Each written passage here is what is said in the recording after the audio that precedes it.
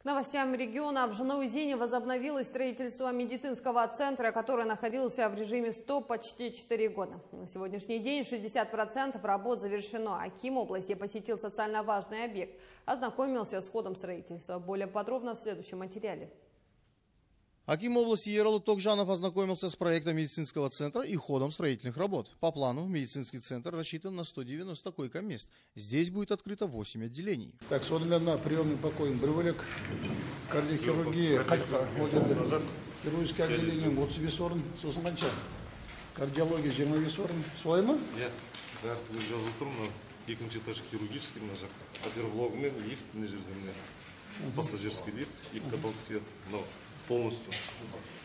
Оның үстіне травматологическое отделение, и мына жағы гинекологическое отделение, төртінші этаж оперблок мына жақта мына лифтпен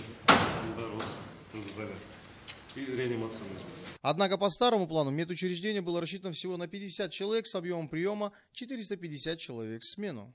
оның ішінде жиырмасы жаңағындай амбулаторный. Дневной стационар поликлиники рассчитан на 20 терапевтических коек, еще 30 коек круглосуточно.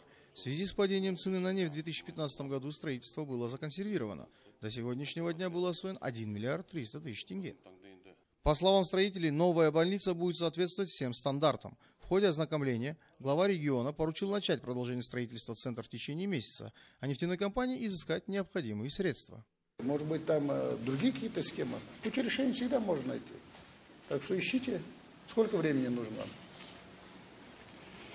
Так, полностью где-то недели две-три. Недели две-три, давайте, две недели. Что-то слишком много. Стоимость объекта более 4 миллиардов 200 миллионов тенге. Их планируется полностью освоить и вывести центр в эксплуатацию до конца 2020 года. Руслан Агаев, Айгерим Имамбаева, Каспиак Парад.